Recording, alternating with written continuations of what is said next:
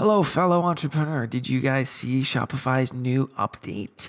3D scanner for your products now available on iOS. Apparently, Apple's iOS 17 comes with a new feature that you can make dynamic 3D objects yourself with your phone. So, this is a new update Shopify has made for iOS, for the Shopify app in iOS specifically.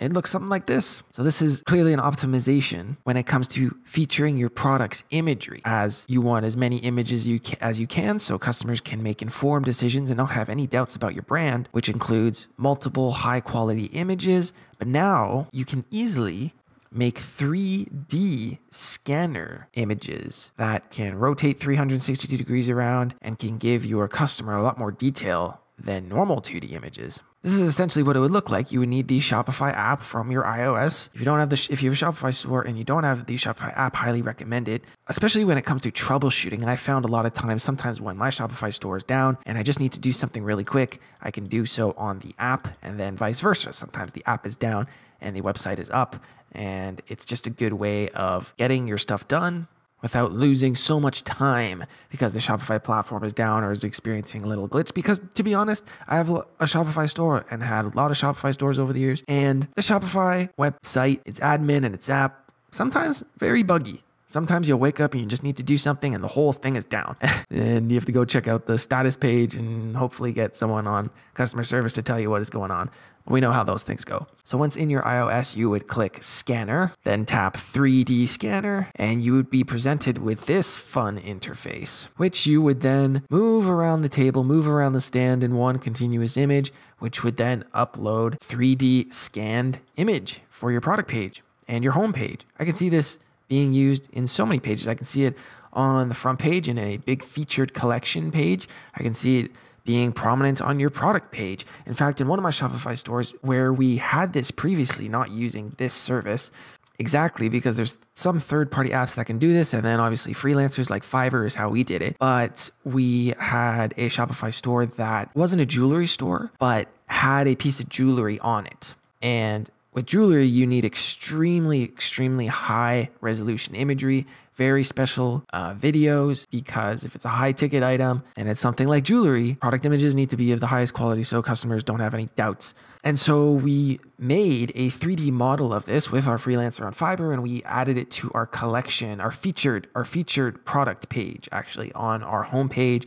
And we obviously used it on the product page and then we used it as like the collection picture. We used it in a lot of ways. So this can be extremely helpful for a lot of people. I can see this in a lot of markets. I mean, we have this example of this vase, but I can see this in so many industries. I can see it, as I said, in the jewelry industry. I could see it in the clothing industry. I can see it if you're drop shipping, because a lot of the times when you're drop shipping, for example, you rely on the pictures that the supplier gives you. And sometimes they give you some pictures, they give you a lot of pictures. Sometimes they give you a video that you can add, and usually those are questionable quality and sometimes they're very big and they slow your site down. So if you have an iOS, you can now do this yourself That'll save a lot of time, a lot of energy. And if it's a Shopify made and developed feature, most likely will install cleanly, not slow down your site, and be a much better experience than using a freelancer or third party app. It's pretty interesting to see. You know, obviously, this will help reduce refunds. This will reduce returns or customer frustration. It will increase your conversion rate while reducing your refunds at the same time. If you have these sort of high quality images, 3D models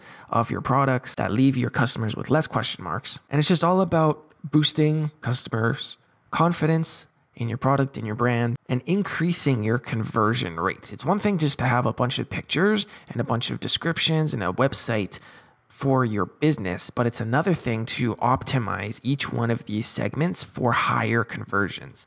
And if you have high quality products and high quality video, you can increase your conversions by displaying a 3D model of your product in specifically targeted and strategic locations throughout your site. Also, within this blog, it gives you some of the best tips. Uh, one of them being a eight centimeter height minimum. That's pretty small. That's maybe about like this long, maybe longer, maybe less. But it does say start with objects that are larger than eight centimeters in height, length, and width. That's important height, length, and width. That's why they chose this vase.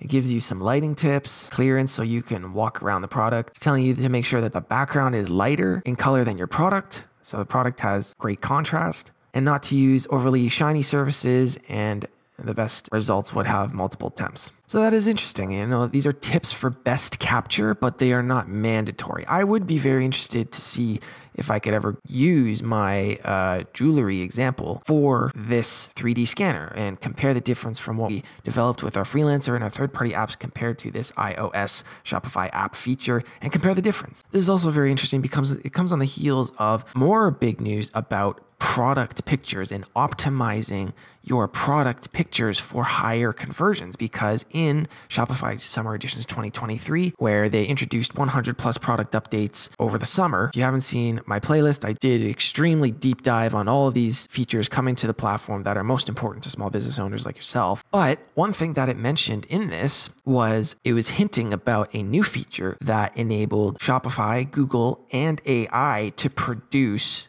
images. So we all know how AI is taking over everything, and it's extremely easy to make content like blogs and product descriptions, content using AI, as it's just words input and then gives you a much better word output that you can put anywhere on your site. But now we're seeing a little bit of a transition to products and imagery.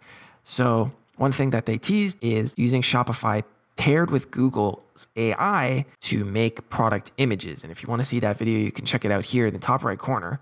But that's about it. Quick little update about elevating your product catalog and your product pictures with new 3D Scanner iOS. I can't wait to give this a shot myself on my Shopify stores. And if you learned something new from this video, please leave a like so I know. If you want to join a community of like minded entrepreneurs and learn from someone who's been in the industry for a long time now, consider subscribing. And I'll see you in the next video.